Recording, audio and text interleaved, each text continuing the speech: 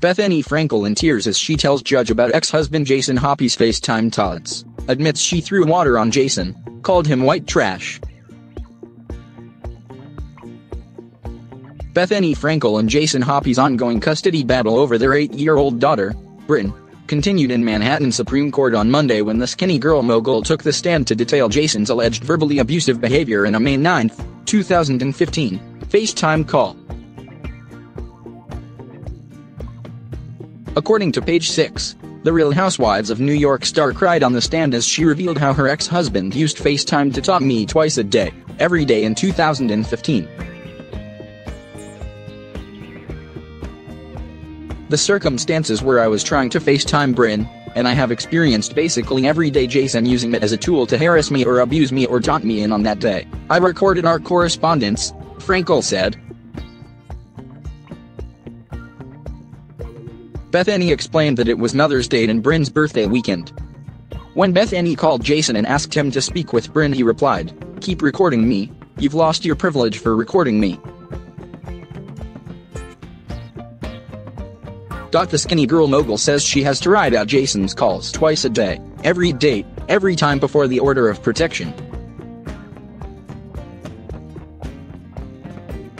Jason used FaceTime to taunt me, abuse me, say negative things, laugh at me, Bethenny confessed, choking back tears. Is everything okay, Bethenny? Are you having a bad day, Bethenny? You seem stressed. Bethenny. While on the stand, Bethenny also admitted to calling her ex-husband white trash and dousing him with water while he was sleeping. Bethenny also owned up to the role she played in the former couple's extremely hostile relationship. You called him white trash, correct? Jason's lawyer Robert Wallach probed on Monday. I think I called his family that. She replied. Wallach then forced Bethenny to read a transcript from a 2014 hearing where Bethenny testified that she called Jason white trash after he insisted he found an investor to bankroll him in their divorce proceedings. You called him white trash. Wallach repeated yes. Bethenny finally admitted. In 2014, Bethenny revealed she tossed water on a sleeping Jason after she crapped. However, in court on Monday, Bethenny attempted to minimize her actions well, I threw water at him, but I don't know if he was sleeping, she said.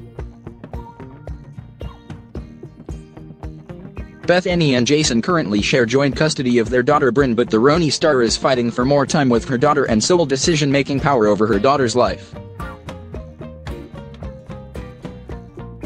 I have tried everything to collaborate and work in the best interest of my daughter. What is best for Bryn is to have a rational person who is making good decisions, Bethenny said in court earlier in the day on Monday. The Real Housewives of New York airs on Wednesdays at 9 p.m. EST on Bravo.